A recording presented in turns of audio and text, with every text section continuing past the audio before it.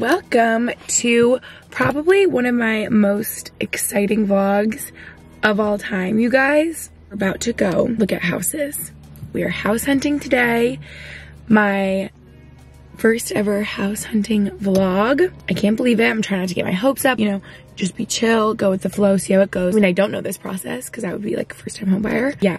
I like can't believe the day is finally here on Cape Cod. If you guys don't know, my boyfriend Max is from Cape Cod. We love it here so much and this is going to be like a summer home since we live wherever he plays hockey during the hockey season, which is like pretty much September, October through May. It would be so nice to have a home base especially on the Cape. Like we just kind of were thinking since this past off season, this past summer, we were in Boston, which I loved. But when I did some reflecting on the summer, my favorite moments were on Cape Cod because Cape Cod in the summer is just like magical. It's so nice being close to Max's family since they're here. So yes, Lucy got to join me. Lucy's coming with. Max, unfortunately, is playing hockey in Pennsylvania. So he can't look with me. I'm going to send him a bunch of pictures and videos and stuff. My mom knows me so well. I was talking to her. She was like, don't get your mindset on something. Don't be stubborn. Don't be spontaneous. Don't be rash. This is one of the biggest purchases you'll ever make be smart and practical. I'm like so nervous, but I'm so excited. We're seeing five in total today. I'm only down for today and then I'm going back to Boston with Lucy tomorrow. So this is just preliminary. Like if it's meant to be, it'll be. I need to like not be upset because there's already some homes that I fell in love with on Zillow and they're now pending. So we actually can't take a look at them. I thought we were still gonna be able to look at a couple if they weren't like that far along in the process. But I think if they've accepted offers, then we can't see them. So I'm really sad like about a couple, but I need to just keep an open mind and maybe they'll fall through if it's meant to be, it'll be. I'm like, can we just like offer more and get that one that I saw online that I really liked? But yes, I'm sure like a bunch more will be coming up in the spring. So if I have to come back to look, I will. I don't want to feel rushed to try to get one in for the summer. Like it would be lovely if we could, but I'm not getting my mindset on it because I don't want to rush into anything that's like such a big deal, you know? Okay, here we go. It is. It's like a feeling. Yeah. You know, it, it, that's when people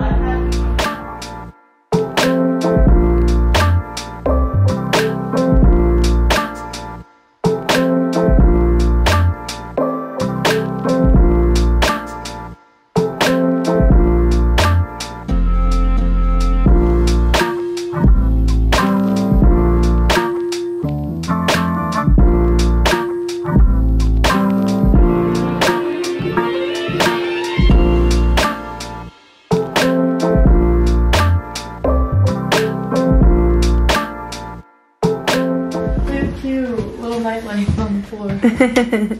Cute. I know this is like a cute like like all the Style. tiles, yeah. so beachy. I know. Vegan white is really fun.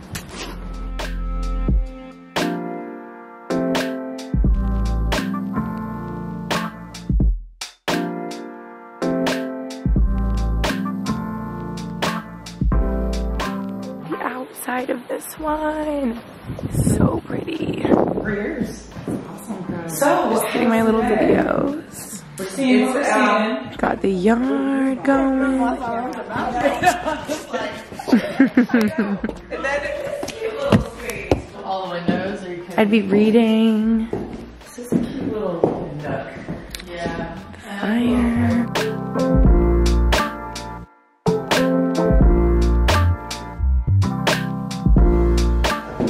I love the kitchen. Cute. The master. Bathroom. I didn't even go in here. For Q. Vanity. I haven't really spoken to you guys much.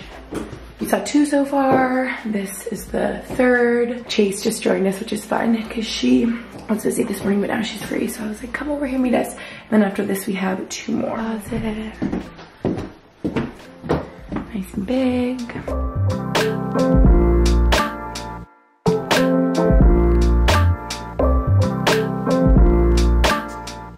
We love the kitchen. Lucy, Lucy goes, this is your closet. And she said it Max has his own. the linen closet. okay, this might be my shower. favorite bathroom yet. I love this. Look at the lights. So and like cute. I like this. Yeah, I walked in. I was Really in the cute. black, like on the shower. I really like that. Yeah, I love this. Little seat. Last house. The basement is pretty cool. I think it's the only one we're seeing with like a finished basement like this. Walks right out. Like this is so nice. Come on, right?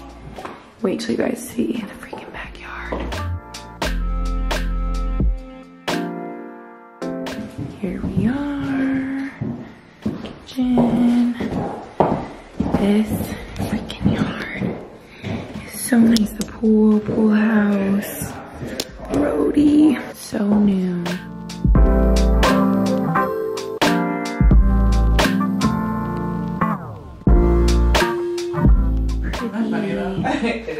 We got this room, this room. Oh, I love this one. I knew I would. Bathrooms are all cute. Oh, this master is just so good. It's so cozy. The fireplaces, just make it. We love the shiplap. Hmm. Hmm, hmm, hmm. We love the driveway. I'm exhausted. How about you, Lou? this has been a long day. this closet looks just like my closet in the South End in Boston. If you guys remember the apartment I lived with Taylor, it looks exactly the same, which is funny. Maybe it's an omen. And then here's the master bath. Cute. This like weirdly feels tight to me. You know what I mean, Lou? Like the vanity feels really tight to the tub, but like whatever. Need the best donut ever to end the day. Mm, mm, mm. We're exhausted. oh, my camera's about to die now. It's later. We just went to Nirvana. I'm running on coffee today. I'm so exhausted. It's been the longest day. I don't think I've ever been so drained. I'll have to fill you guys in on all the details. Back in Boston and I have some explaining to do with the house search. Even saying that, I'm like exhausted. Before we get into all that, I'm going to shout out the sponsor of this video. Thank you so much, Ouai, for working with me on this video. You guys know my most favorite hair care brand. Just got the shower a little bit ago. My hair is like damp. I'm about to blow dry it in a sec. You've probably heard me talk about it in my videos in the past, but the hair care routine, the gist looks like this. The Ouai Detox Shampoo, the best clarifying shampoo I've ever used in my whole entire life. I've gone through like a million bottles of these. So good at getting all the product buildup out of your hair. And then I go in with their anti-dandruff shampoo. I always do like a double cleanse like that because I feel like it really gets all the junk out of my hair. Obviously just good at soothing an itchy, irritated, dry scalp. Because in the winter I have like such a dry scalp. And then right now I'm gonna go in with their scalp serum. Like everyone I know loves this stuff stuff and I focus it on the front because that's where I'm really trying to have like a healthy, hydrated, balanced scalp to support some healthy growth up here. Feels really nice. My sister's obsessed with this because she's like, it just feels so good on my scalp. Yeah, it just feels like cool and like kind of minty on your scalp, if that makes sense. You know, my code is stay the same if you guys go to theouai.com. That's T-H-E-O-U-A-I.com and use my code GG. You'll get 15% off your entire purchase. Don't forget to use code GG for 15% off. I'll have Ouai linked down below. I'm gonna blow dry my hair and we're gonna have our chat.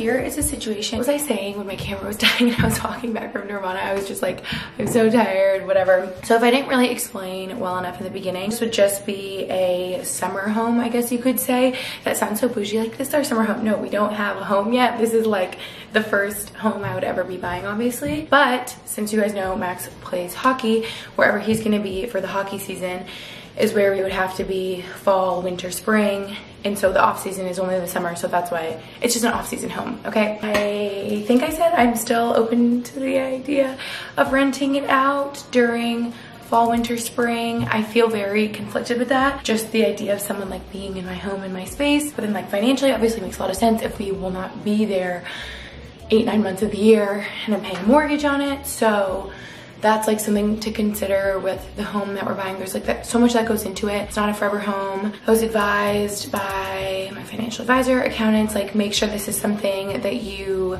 can very comfortably, uh, comfortably afford and not really like push yourself, especially being so young. They're like, don't really stress yourself out financially, especially because we'll also be needing to pay rent somewhere else, whatever. So there's like a lot that goes into this here. Also, I believe the houses are still technically like overpriced. You guys probably have like opinions on this and like interest rates are pretty high. So I don't think it's like the best, best time to buy, but also who's to say what will happen with home prices and interest rates in the near future, right? Like it could just go up. And I'm just feeling like saddened by it because none of the houses we saw felt just right. And I may have mentioned this before, but I think I went about it the wrong way of getting my mind kind of set on a couple homes I saw in Zillow in the past month and literally like a couple days leading up to meeting up with a realtor and looking at homes. They accepted offers and were pending. And I thought pending was like, oh, maybe they have some offers. She was like, no, that means they've accepted an offer. So really the only way it could come back on is if it like falls through, financing doesn't work out, inspection, blah, blah, blah, stuff like that. Also, if I'm saying anything wrong, take this with a grain of salt because obviously I don't really know what I'm talking about because this is like the first time. But pretty much the first one we saw was on the beach, which is crazy because I didn't think that could actually be like a possibility. It really isn't. Like I can't really afford that one. That would be like really stressing me out financially, which I was told not to do. So there's that. Also, it's like the smallest one. And there's things that we love about it, obviously, but then I was talking to my realtor. I'm like, I can't believe I'm complaining about being on the beach. I'm not really complaining, but it just made me realize like there's no grass. Like there's no like fenced in yard for Brody. There's like nothing like that. So it seemed like from each, we saw five homes. From each one, there were things that I liked and things that I didn't like. So I want to like take all the aspects that I like and like put them in one and make it more affordable, but it doesn't really exist. So yeah, that was the first one. The second one, I really didn't like, wasn't cohesive. It was like remodel. So there was like literally six different types of floorings and walls and I didn't like the layout. There was like a lot of things I didn't like. I loved like the outside, the yard, the water. I don't even know if I showed that much of that one. Third, also I didn't like a lot about it. I didn't like the yard, I didn't like the location. It was off kind of like a busy area. Max's sister Chase met up with us and was like, look at your front yard is big, but there's literally like a guardrail uh, at where your yard starts from the road because it's like that busy of a road. And I'm like, I would not feel safe with Brody. There are just some like non-negotiables for me. And I also was realizing how much location mattered way more to me than I thought it would. Wait, wait, I'm mixing up the order. The third one I liked. Two and four I didn't like.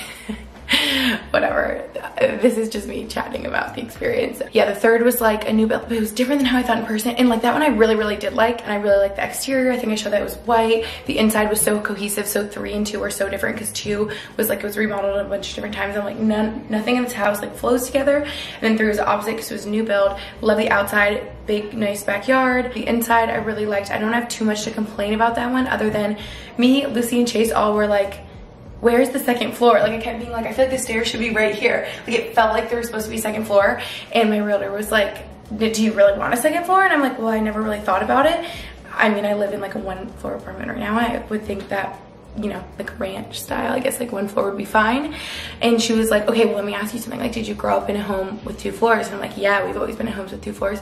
She's like, that's why you feel that way. Like, that's fine that you want that. But I never really, so I was just like learning a lot too about more about like what I wanted. So that and really the location was kind of like the deal breaker on that one. Wasn't really in like a location we wanted to be in. I might have said this before, but I'm also realizing how hard it is with like new builds and new construction in a place where there's already like so many homes on all the land and I just feel like when there are new builds and new construction it's few and far between. Like you look Zillow homes on the Cape and it's like 500 and then you click like new construction new build and then it's like 20 homes.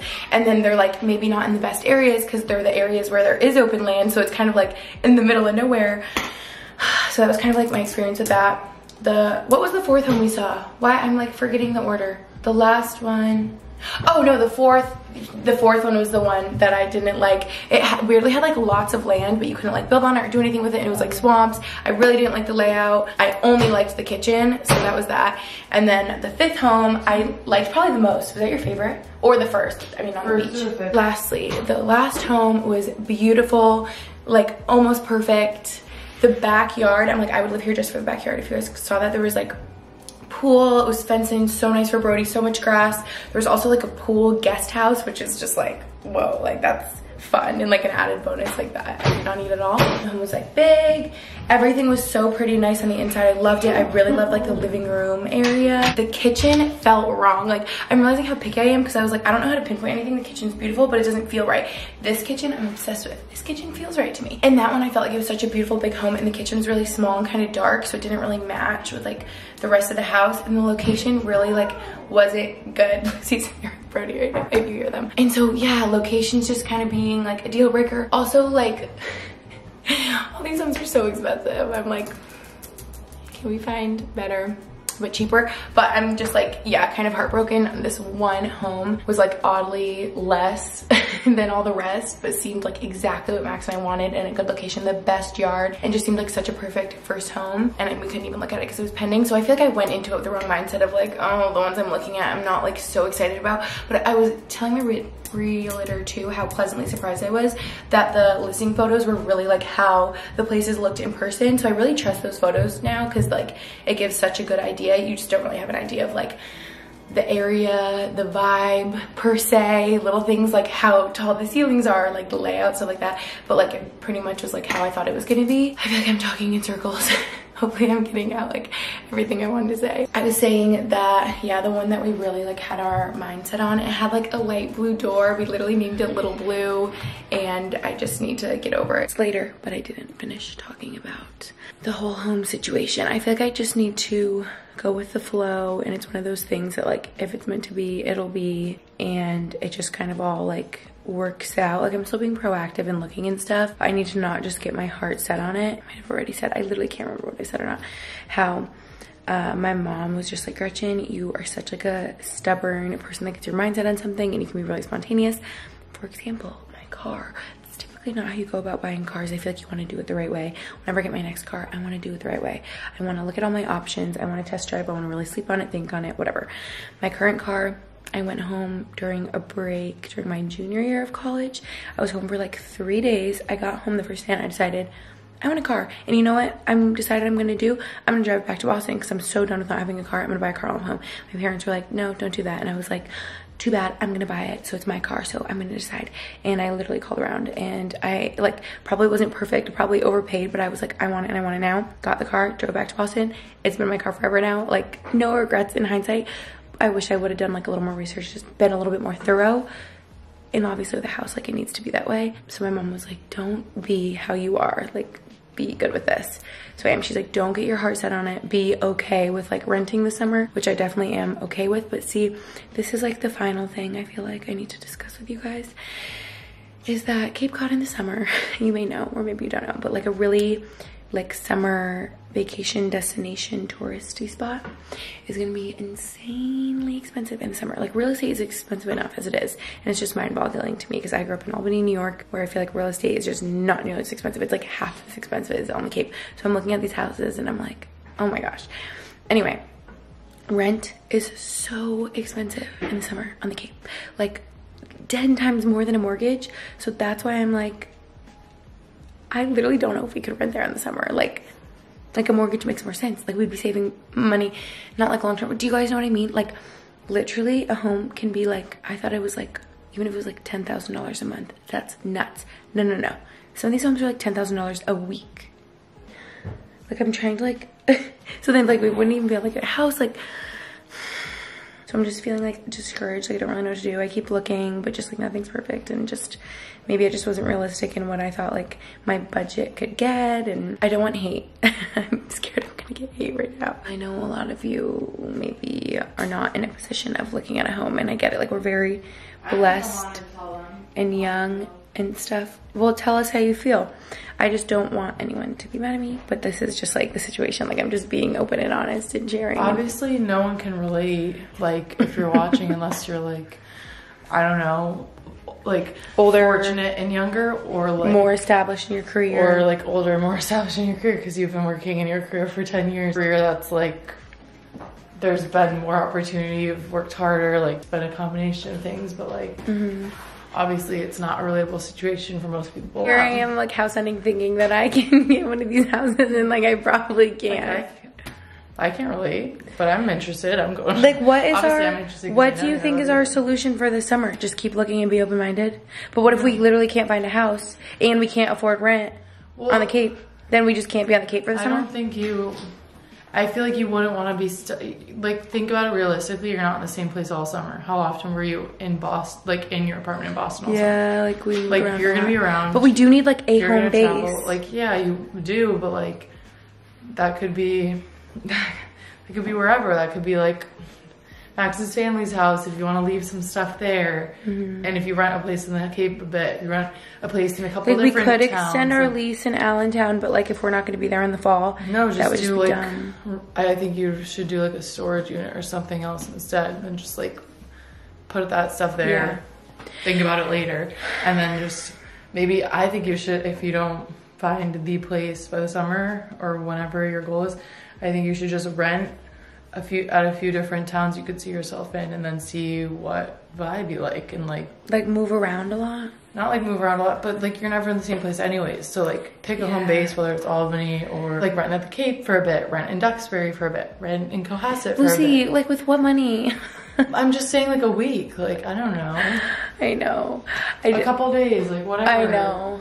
You have friends, people can pay. Like I don't know. I know. The other level is that I don't know if I've said that we don't know where we're gonna live in the fall. So it's kind of an easier like in the past. Like we like for example, last off season going into this season, we knew that we were still in Pennsylvania. So we left like all of our furniture in our place in Pennsylvania, kept the lease going, knew that we would just be able to go back in the fall. Easy. I don't think you buy a house that you won't like long term, or that you don't think is it, just because you don't know what your home base is gonna be. I know. Like we just have to be And, smart. Like, like yeah, renting is almost as expensive as buying a house, but like No, it's more on the Cape. exactly. But like, are you gonna buy a house and then try to sell it? Like that's annoying too. I know. If anyone has advice, I don't know if I want to like open the floodgates, but I don't know. Basically, just disclaimer that I know this isn't. Everyone has problems. I'm having problems with renting and trying to find a new apartment. There's just different levels. Yeah, like Problem this isn't problems. relatable, but also please understand that our situation is quite odd and like I feel like it's common that someone who is a hockey player and their partner or families will try to find just- a permanent home base to feel a sense of home and just like more money, more problems. stability. I have little Yeah. renting, leasing problems, but you have house problems. You know, it's just different levels. But like, you know what I mean, Lou? Like, if you're bouncing Yeah, around I each year, you I- want like a home base. yeah, obviously. So that's like the situation. And especially if like a lot of Just a little like you're like, building a family and blah blah blah, you need like a home base for Yeah. just everything. Yeah. That's the whole house situation. So I'll keep looking, and we shall see. And if it's meant to be, it'll be. That's all I got. Love ya. Thanks for watching this vlog. Thanks for hearing our thoughts. You know they can like hear you blowing your nose, right? I'm sorry, I can't help it. Are really. I'm ending off the vlog. Love ya. Hope you enjoyed the houses we did see. Bye.